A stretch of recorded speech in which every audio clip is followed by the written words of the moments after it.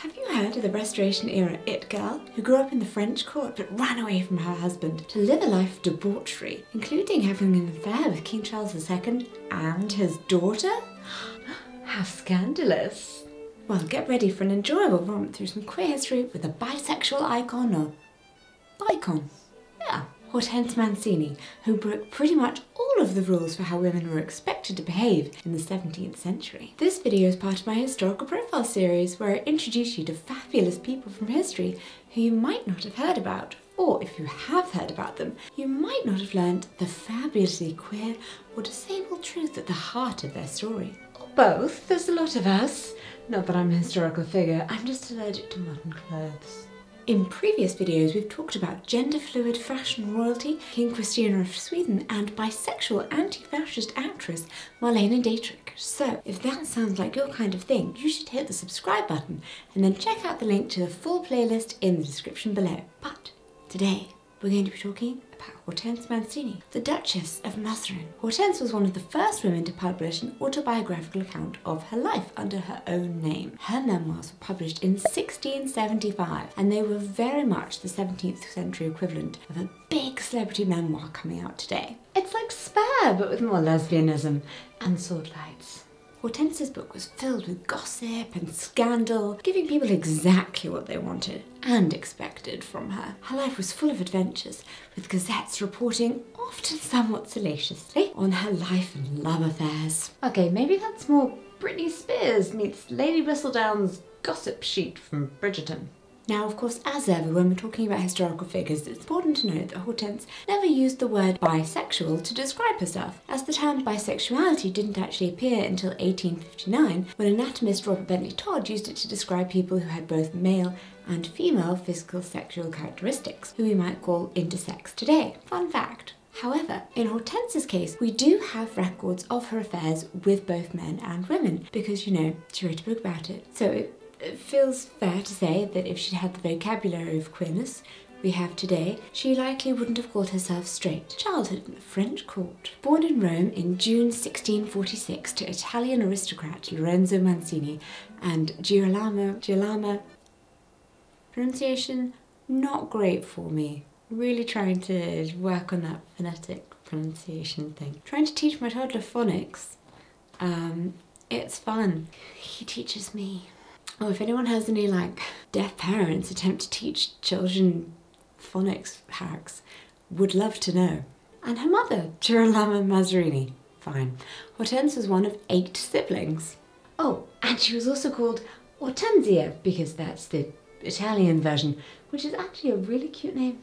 Just a warning, there are going to be some really confusing names in this video. Um, I'm going to really try my hardest. I mean, you can see why the Bridgertons named their children in alphabetical order. It would have made all of the Mancini sisters' affairs and marriages so much easier to keep track of. After her father's death in 1650, her mother brought the daughters to Paris in the hopes that her brother could help with ensuring they secured good marriages. Her brother, Hortense's uncle, was none other than the powerful and wealthy Cardinal Mazarin, who had been the Prime Minister of France in 1642 and became the chief minister and tutor to Louis XIV after the death of Louis XIII. This means that Hortense and her sisters grew up in the court of King Louis XIV, along with their cousins, the Mazarinis. And while the beauty standards of the French court at the time favoured pale skin and full of figures, the family were instead willowy with darker olive skin. They caused quite a stir, and Hortense in particular is described as being very beautiful. Of course, in the portraits we have of Hortense, the skin is very pale. Whitewashing history, it's very literal.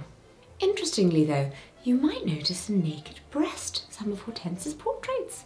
Now this isn't a nip slip, although how would you ever have something like that accidentally happen in a portrait that takes many, many hours to paint is, is quite questionable. But because art in early centuries was coded and had clear symbolic meanings, very obvious to those viewing at the time, maybe not so much to us now. For one thing, in the 17th and 18th centuries, nipples, and to a point nudity in general, weren't as sexually laden as they are today, particularly from an upper class to lower class perspective. By the time an aristocratic lady reached her old age, how many different maids would have seen her undressed?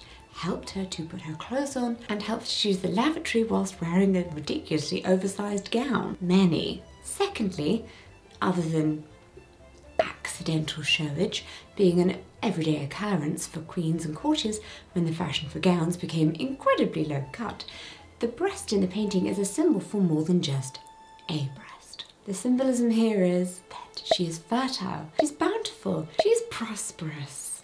Again, absolutely a superiority marker, just like having the privilege of watching Louis XIV use the toilet. Your bare-chested nudity could also be used in portraiture to communicate a lady's maternal nature towards her humble servants. You are mother. But like, actually don't touch me, peasant.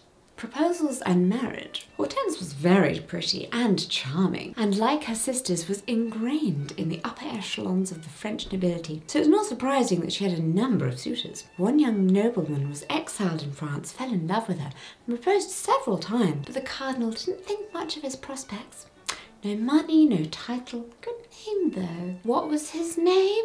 Prince Charles. Not that one. Yes, that one the one whose father was beheaded in the English Civil War. Yeah. So he'd run to France with his French mother and siblings, but it all turned out well for him when the Restoration happened and he became King Charles. Not that one. Yeah. So, I mean, yeah, I know that name was definitely a choice. Anyway, so that happened just a few months after the Cardinal had turned down his last proposal on Hortense's behalf. Because obviously a woman shouldn't have any say in who she marries. Once Charles was reinstated as king, the cardinal went back to him, of course, saying Hortense has changed her mind. She'd actually love to marry him. Perhaps unsurprisingly, Charles was no longer interested. Oh, but don't worry, he comes up again later in Hortense's adventures. Hortense received a number of other promising proposals, including from Charles Emmanuel II, the Duke of Savoy, and another Charles, the Duke of Lorraine, what is it with that name? However, in both cases, arrangements fell through when the cardinal refused to include the castle of Peyronel Hortense's dowry. Obviously, for aristocratic families, marriages at this point in history were not about love or romance, but about politics, money and power. Well, I mean, money and power control politics. Money doesn't actually insulate you from power, so power, it's just power. The cardinal had no children of his own as he was a high-ranking Roman Catholic clergyman, so he saw his nieces as a way he could secure his power and legacy. Hortense's sisters and cousins thus had to be married off to dukes and princes. First sister Laura, the oldest, married one of the king's cousins and became the mother of a very famous general. Then there was Olympia. She married Prince Eugene Maurice of Savoy-Carignano and became the mother of a very famous general. Then there was Marie. Now she was Louis XIV's first romantic love, but despite his objections, she was not considered an appropriate match since not a princess. So he had to marry the Spanish Infanta Maria Theresa in what both the cardinal and Queen Regent considered a more politically important alliance, which was kind of fair. But she did get to marry the Italian nobleman, Prince Lorenzo Onofrio Colonna, so that's nice. And then there was little Marie Anne who married the Duke of Bouillon, so and then Hortense. She was said to be the Cardinal's favourite niece, but it wasn't even until his deathbed in 1660 that he secured a marriage contract for her. Armand Charles de la Porte de Meilleraye was one of the richest men in Europe, but oh, he was more than twice Hortense's age when they were betrothed. Yay. Hortense was just 15 when the Cardinal died, leaving not only a fortune, but his name to the couple, and leaving Hortense, in her own words, the richest heiress and the unhappiest woman in Christendom. Armand was very pious, in a way that Hortense, with a delight for teenage romance and practical jokes, was not. He had some, shall we say, distinctly odd ideas. For instance, he believed that spending too much time with cows would make milkmaids attracted to them. I think that tells us more about you than anyone else, Armand. He also had the teeth of female servants removed to stop them from attracting attention from men, and then utterly destroyed all of the valuable art the couple inherited by covering elements of paintings he considered inappropriate with black paint. Those two things are not the same. Also, that art thing is a really great way to depreciate your net worth. Escape and scandal. Armand was as unpleasant and possessive as Hortense was sweet and spirited. He was deeply jealous, often waking her at midnight to search her room for hidden lovers. He forced her to leave Paris and her life and friends there and come with him to the country, where he expected her to spend six hours in prayer every day. Hortense sought solace in a new friendship with Sidney de Collier. She found solace in a new friendship with Sidney de Courcy. There we go. Although Hortense's memoirs claim quite piously they were just close friends, historians are quite happy to read between the lines of that one to a romantic relationship. Whilst obviously it's important to believe women who, even in 2024, we far too often don't believe about their relationships and sex life, we have to know that the context of Hortense's memoirs being written with the aim of convincing the court that she be, should be allowed to divorce her husband, so it's fair to suggest that she might leave out parts that might make them look less favourably upon her plight. Armand was furious when he found out and locked both women in a convent. However, it seems that they had great fun playing practical jokes on the nuns and enjoying each other's company. And you know, spiking the holy water with ink, pouring water on the nuns' beds, escaping onto the roof through the chimney. Oof! The nuns begged Armand to take his teenage wife back. Neither of them were unhappy about it. Hortense did not idly take the abuse, though. It was around that time that she started writing her memoirs, which was highly unusual for women in the 17th century. Her main reason was to chronicle her husband's behaviour, to have a solid case against him in court. They made it another seven years and four children together, during which time Armand's attempts to control her included taking everything she owned and instructing the servants to capture her whenever she tried to flee. Eventually, King Louis was forced to intervene in an attempt to help them coexist peacefully. But on the night of the 13th of June 1668, Hortense had finally had enough and made a big bid for escape. She fled in the night, dressed in men's clothing, and left her children behind. It was a move so unusual that it attracted a lot of attention, both from the court and the public even spawning magazines devoted to the topic. Hortense spent much time on the road, often travelling in men's clothing, sometimes joined by her sister Marie, who was now a princess and fleeing her own husband. She spent time in several different European countries, evading her husband's attempts to force her to return. The exiled courtier Bussy-Rabutin noted for his running observations on the scrapes and scandals of the French court, wrote that no cuckold has ever been so deserving of the title as the Duke Mazarin, and every day of his life gives me more admiration for his wife, who prefers to take to the road rather than suffer his presence any longer. Eventually, Louis XIV was forced to intervene again. He ordered Armand to refrain from slandering Hortense and offered himself as her protector, along with her former suitor, the Duke of Savoy. Graciously, she accepted the annual pension of 24,000 livres offered by the king and moved to the household of the Duke. She established her home there as a meeting place for authors, philosophers, and artists.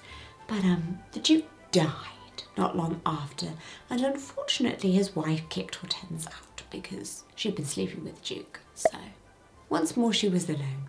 Her husband had managed to freeze all of her bank accounts, including her pension from the king, which left her penniless unless she returned to him, but that was out of the question.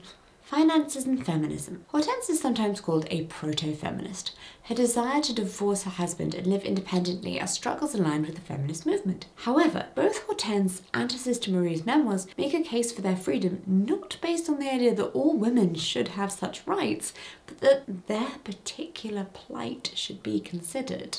Their memoirs are full of the correct titles for everyone they met and interacted with to demonstrate their many well-respected connections.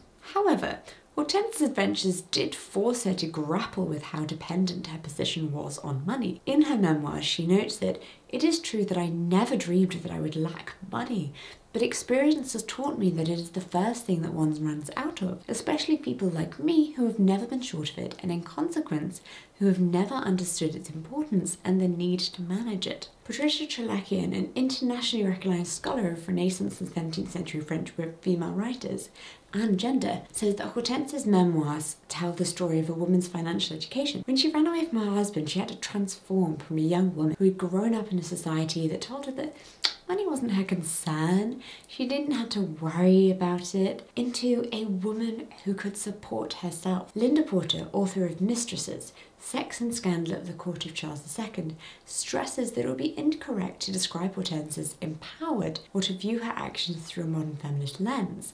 However, Hortense certainly used the tools at her disposal effectively. In the opening of her memoir, she writes, if the events that I have recounted to you seem like something out of a novel, blame it on my unhappy fate rather than my inclination. I know that a woman's glory lies in not giving rise to gossip, and those who know me well enough know I do not care for making a public sensation. There is a certain irony in a woman who secured her freedom through making a name for herself, claiming that she is uninterested in gossip or public sensation. Hortense's life in her memoir contained a lot of both. But this might suggest that Hortense knew what she was doing and perhaps had more agency than we often think women in history did when we look back at them from the lofty heights of the 21st century feminism. Charles I and his daughter. After the Duke of Savoy's death, Hortense had no source of income, as her husband had frozen all of her accounts and prevented her from accessing either her inheritance from the cardinal or her pension from Louis XIV. I mean, dealing with banks can be hard enough in the 21st century. Try it when it's literal gold, and they know your stinking awful ex personally. Enter Ralph Montagu, the English ambassador to France. Now, he knew about Hortense's plight and hoped that she could help him with his plight, increasing his standing and influence with his own king, Charles II. And not a plight, really, there, Ralph. I told you Charles would come up again. Montagu hoped that Hortense would be able to replace Charles's current mistress, and out of other options, Hortense agreed to try, pretending to only be visiting her niece, Mary of Modena, who had just married Charles II's younger brother, James the Duke of York. Hortense travelled to England. And yes, she dressed as a man for her journey. Although appearing as a man whilst travelling was generally thought to be safer, it's actually believed by historians that Hortense's penchant for cross-dressing was actually more of an outward expression of her gender neutrality. Hortense arrived in England shortly after her memoirs had actually been translated into English, so there was quite a buzz about her arrival. By mid 1676, she had secured the position of the king's favourite, and he provided her with a £4,000 a year pension, so that gave her quite a clear amount of financial security. It was the perfect match. They both loved lavish parties, riding and fencing. The king didn't even mind her numerous affairs. The playwright Aphra Behn even dedicated the introduction to one of her novellas to Hortense, turning it into a full-blown love poem. However, it wasn't long before Hortense displayed that she'd most certainly earned the reputation that had preceded her to England. she had an affair with Charles's illegitimate daughter, Anne, Countess of Sussex. If you've heard of another historical Anne who was famously gay, you might be thinking of Anne Lister. I've made a video about her too. You can click the card up in the top right hand corner to watch it or find the link in the video description. Anne was both married and pregnant when she met Hortense and about half Hortense's age, but that didn't stop them from forming a relationship. And although don't know the exact details, we do know that their affair culminated in being caught in the middle of a friendly public fencing match in St James's Park, both in their nightgowns, and cheered on by a crowd of admiring men. So dramatic, so scandalous, a perfect theme for a Restoration era lesbian romance. I ever heard one. Immediately, Anne was sent to an estate in the country where she reportedly refused to leave her bed and just lay there kissing a small painting of her beloved Hortense. Sounds about queer. Charles was more annoyed, however, by Hortense's affair with Louis, the Prince of Monaco. Going after my daughter is one thing, but messing with my geopolitics is just another. He sulked and took away her pension for a few days until she just gave up being his mistress, so he started paying her again. If only all jobs had an exit package that good. The king and Hortense actually remained on really good terms for the rest of his life, and then following the death of Charles II, Hortense was well provided for by James II, probably to be fair because she was the aunt of his wife. But of course, Hortense's husband wasn't exactly thrilled with any of these events.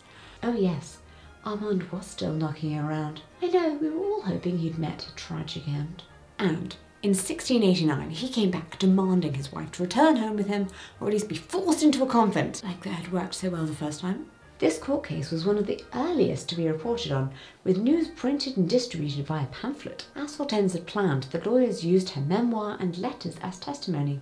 Although Armand technically won the legal case, Hortense had just run up considerable debts in England, including by hiring overly expensive lawyers, and the English court decreed that she actually couldn't leave the country until she'd paid them. Oh no! What a shame. Writing about the 2007 translation of Hortense's memoirs by Sarah Nelson for the London Review of Books, Elisabeth Ladenson explained that Armand argued that he should not be held responsible for his wife's debts since he had not authorised her expenditures. Hmm. So Hortense simply stayed in England. Checkmate. Even when King James and his wife, her niece Queen Mary, were forced to flee to France, and James's daughter and her husband, William and Mary, were crowned joint rulers, Hortense just managed to remain in place somehow, although the pension she received from them was much smaller. One reading of this is that she didn't really care about politics and was kind of apolitical, but it's important to acknowledge that she was making these choices within the limited options available to her if she wanted to secure her safety and position in England and not be forced to return back to her stupid husband. Also, maybe she was just really good with people.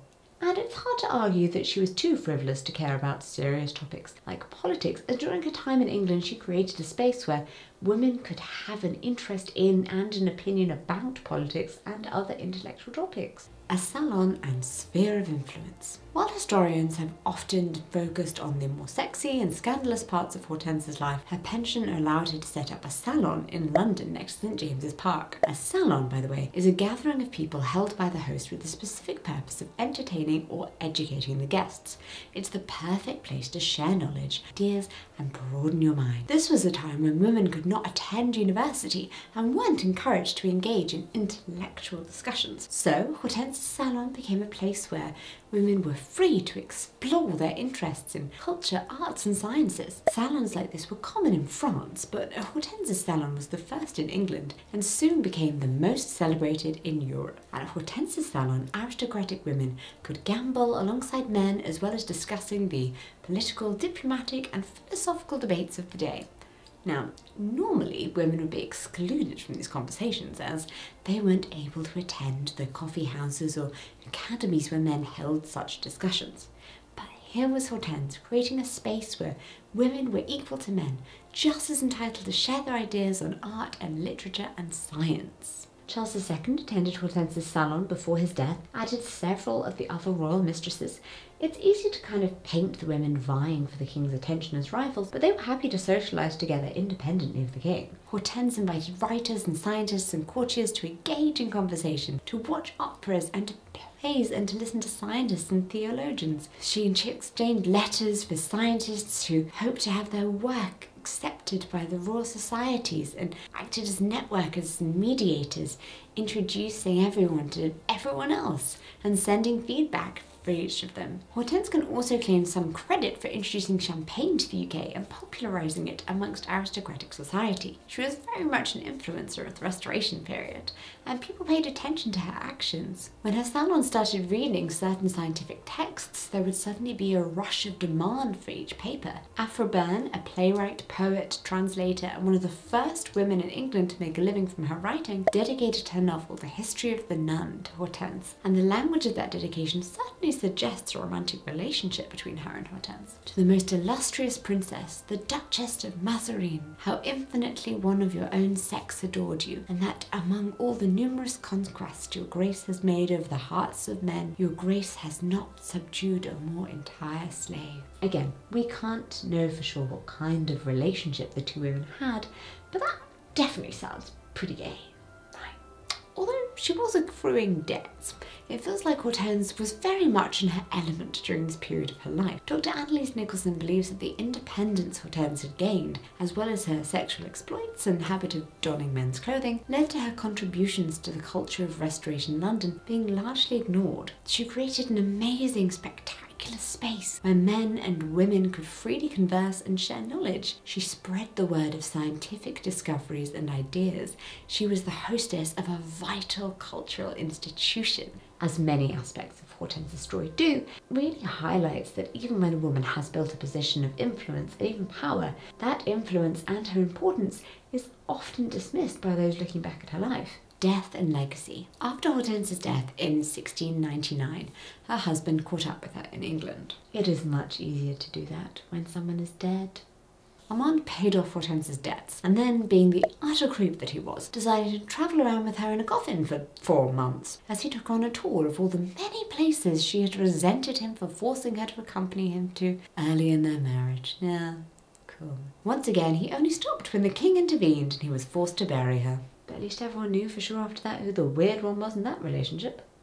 Hortense's story illustrates how little power and agency women have been afforded through much of history, treated as property to be exchanged in marriage contracts with no protection from their husband's whims and wishes. Yet, despite the constraints placed on her, Hortense defied social conventions and made a name for herself. She leveraged her aristocratic birth and 17th century celebrity status to cling on to her freedom and claim the right to make her own choices. As diarist John Writing wrote about Hortense's death, she's written her own story and adventure and four of her five great granddaughters went on to become mistresses of King Louis XV. I feel like she would have greatly approved. And Fun fact, all of the sovereign princes of Monaco, from Prince Honoré V, including the current ruler, Prince Albert II, are descended from her. I hope you've enjoyed this romp through Restoration era Europe. Uh, if you're in the mood for more historical adventures, remember to check out my playlist of other historical profiles here by clicking the card up here or the link down in the description below. I would love to hear if you have any recommendations for other gay or disabled feminist figures I should cover in future videos. Please leave a comment and let me know. And you can find me being gay and disabled over on Instagram at Jessica Out of the Closet. Thank you so much for watching and I will see you in my next video. Bye bye!